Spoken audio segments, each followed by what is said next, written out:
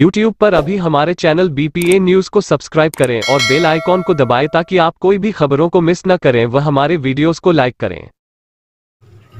नमस्कार, आप देख रहे हैं बीपीए न्यूज़ देश का सच दिखाते हैं हम। कानपुर से संवाददाता अब्दुल निसार की रिपोर्ट।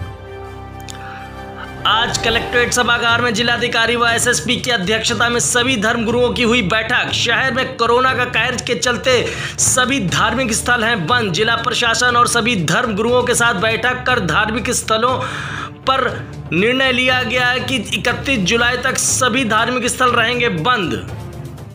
शासन की क्या निर्णय देखिए, आज सभी धर्मों के जो जितने भी धर्माचार्य थे, उनके साथ यहाँ की गई जिला प्रशासन के साथ। और सभी लोगों ने अपने अपने पंथ की ओर से, अपने अपने धर्म की ओर से, अपना जो लोगों से बातचीत की थी, उसके आधार पर ये बताया कि इस समय कोरोना का जब प्रकोप बढ़ा हुआ है तो धर्म स्थल होगा और सभी लोगों ने सर्वसहमत से यह निर्णय लिया है।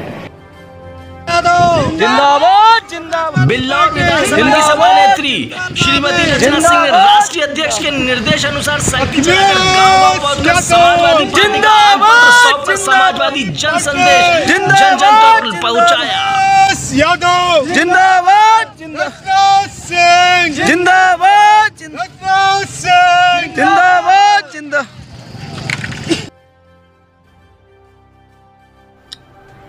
आज उत्तर प्रदेश कांग्रेस अल्पसंख्यक विभाग के कोऑर्डिनेटर अमनदीप सिंह गंभीर पार्षद के संयोजक एवं कानपुर महानगर कांग्रेस कमेटी के अध्यक्ष हर प्रकाश अग्निहोत्री की अध्यक्षता में आज मोती झील स्थित कारगिल गेट पर मौन धरना देकर मुख्यमंत्री से प्रदेश कांग्रेस अल्पसंख्यक विभाग के चेयरमैन शहनवाज आलम को तत्काल रिहा करने की मांग की गई।